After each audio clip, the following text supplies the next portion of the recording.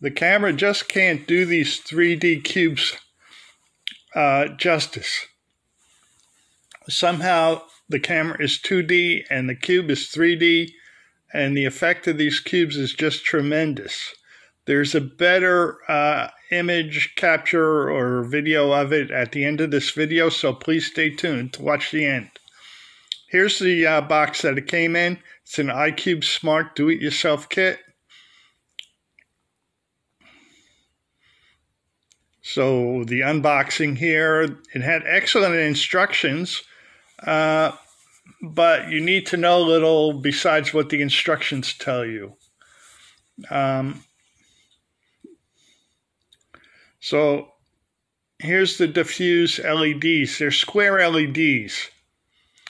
And if I had this to do over again, maybe if I do another one, I will definitely clean the legs of the LEDs with alcohol and maybe use flux. So there are the parts you get. Uh, there's a little part in there that allows you to program the uh, the the eight by eight by eight cube uh, after you have it built, but I wouldn't bother with that because the software is proprietary, and unless you really know how to hack into it, uh, you're going to have trouble with that software and there's always the risk of malware. But anyway, they did an excellent job on the motherboard.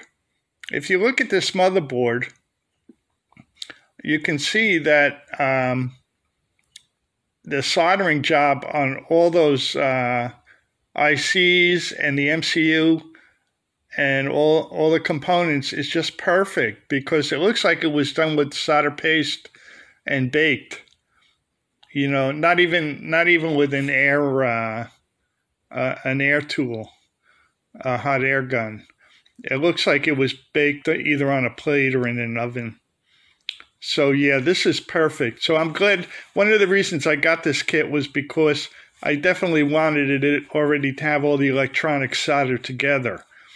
Because my soldering, while pretty good, if you make even the slightest mistake, and you go through the trouble of assembling 512 LEDs into the cube, it's going to be really hard to troubleshoot underneath the bottom of the cube.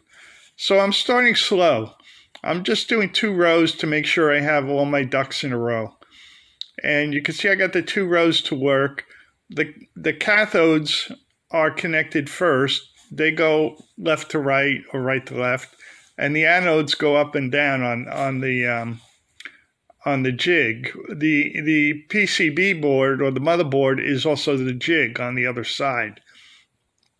So now I'm in full production. I'm bending all the uh, cathodes, and uh, those are going to get soldered together. If I had my druthers, I might do it differently because unless you solder these cathodes perfectly, there's going to be a little bump where uh, the solder is. And my, my soldering is definitely not perfect. And uh, that's going to make um, that, that stick that you use to bend over the anodes, that stick is going to be raised up a little too high in some spots. One workaround is to use the stick at an angle and just put the corner in under the um, under the anode and bend it over. But you see how that stick bends is used to bend over the anodes at the right height. So if the heights are different, you, you're going to come out with some less than perfect results. So there's my first uh, my first 8 by 8 matrix panel. So now I've got like three of them. I took uh, from Friday evening until Monday afternoon to finish this project. This was President's Day on Monday. And uh, here I'm doing one complete panel all in one shot, so it comes out on the video. And this is about 32 uh, time lapse, 32x. So this is what they tell you to do to put them all in place at once.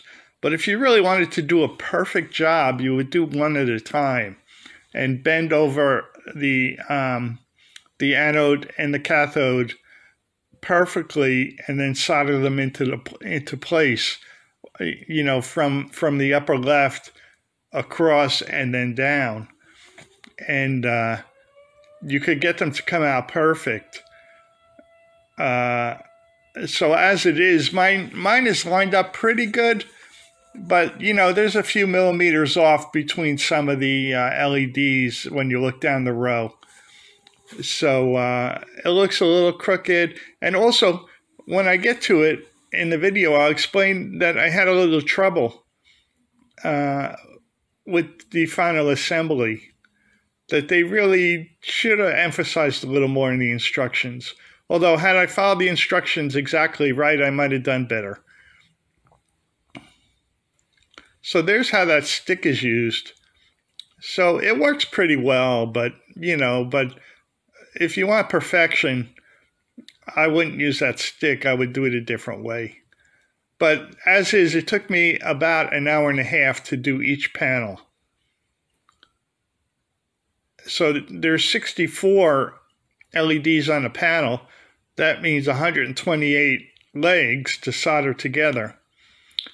So all told, there's well over a thousand solder joints to make um, to do to do the uh, the eight panels.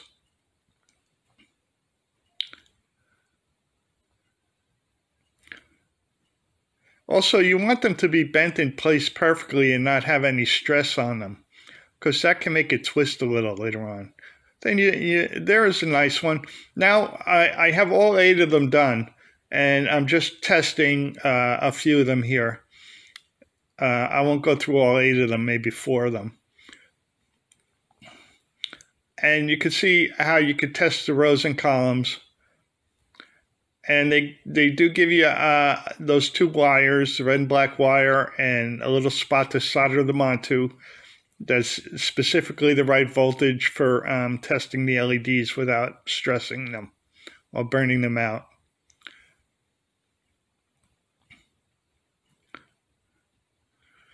So what's really important here that I would do differently if I had to do this again. And I may do another one, but maybe not this particular uh, version. But what what I would do differently is um, when you put that first panel on and you solder it, you have to solder all of them across. I just soldered the two ends because I thought I might need to adjust it. And I thought I had it straight, vertically straight up and down but it was leaning forward a little bit. You'll see that it's leaning forward, and you'll see me struggle with that for for a while here as I add on the other parts. So it never came out quite perfect. It was off by like a quarter inch more on the front, leaning at the top forward than at the bottom.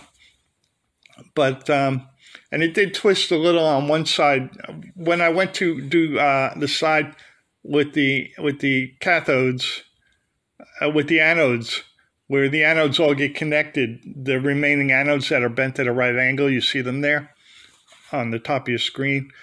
When when you go to do those, that that can stress it a little too. That can twist it a little too, if they don't match up exactly.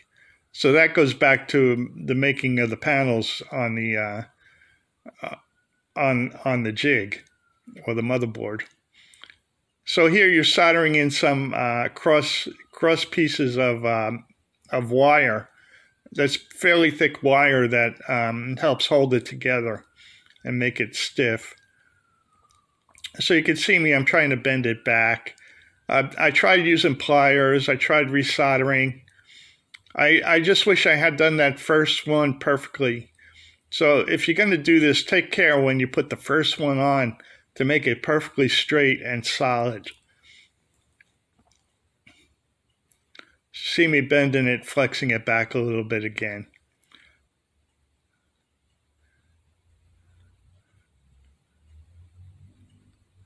Here I'm trying to bend it with pliers. So that made them a little crooked. Anyway, I mean, not just the way they lined up left and right, not just the way they lined up in a row and you know in the crosshatch um, pattern. So here's the finished product. This is a little better video. It has some nice patterns and uh, it has some buttons that you can select different patterns. and uh, control it a little bit. So thanks for watching. Give me a like, give me a rumble, subscribe.